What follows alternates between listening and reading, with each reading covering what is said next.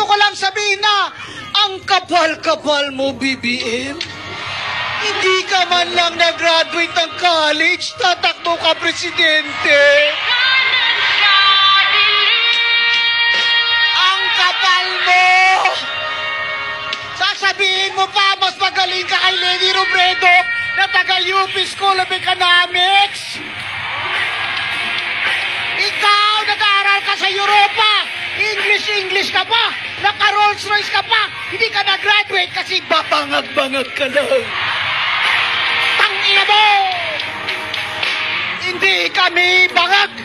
Hindi kami bangag! Hindi kami bangag! Si BBM bangag! Si BBM bangag! Si BBM bangag! Si BBM bangag! Mga kabataan, ito ba ang Pilipinas na gusto nyo pagmulatan ng inyong mga anak at mga apo? Hindi! Gusto nyo ba ang presidente nyo si BBM Narcos? Hindi!